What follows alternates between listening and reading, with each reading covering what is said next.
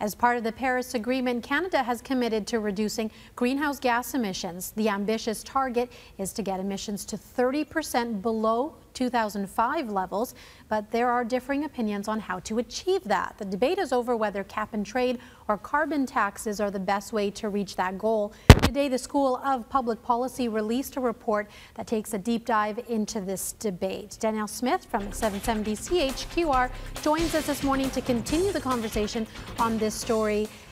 Good morning, Danielle. Thanks for being with us. My pleasure. So, what does this report say then?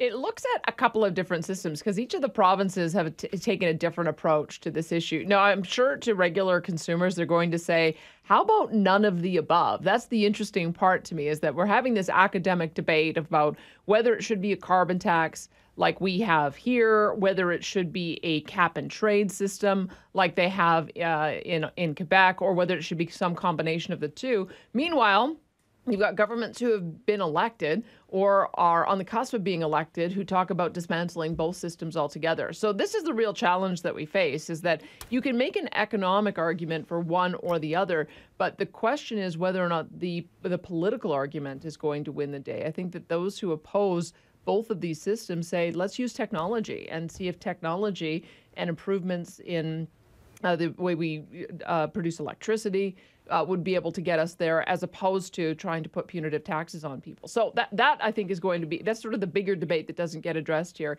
In the end, they talk about how the transparency of having a carbon tax uh, makes it uh, preferable for a whole variety of reasons, not least of which it is the easiest to implement, less administrative cost. But here's the political downside it's also the one that irritates consumers the most. And so the more transparent you make it, the, the more you elicit a political reaction. So I think that's the balance that they're trying to get to is uh, do you want to achieve, do, do consumers really want to achieve the targets? Because by their, their actions and the type of voting that they're doing, it doesn't appear that they do. But when it comes to those two choices, carbon tax or cap and trade, uh, are there any recommendations in this report? Yeah, they talk about the, um, it, it, has to be unique to each jurisdiction. I think the main thing that they talk about is trying not to layer them because if, and this is part of the problem that we have with our governments, is that they have carbon taxes, but then they have, in addition to that, regulations. And the real problem that we're facing is that we don't have any punitive action against countries that don't have uh, th- these kinds of, of mechanisms at all. So when you look at William Nordhaus, who's been just received a Nobel Prize for his work on a carbon tax, one of the pieces that he says is essential to making it work is that if you're importing goods from other nations, you have to apply an import tax on them that is equivalent to your carbon tax. Otherwise, you end up damaging your economy. And I think that that's a really important discussion, but one that unfortunately our politicians aren't having.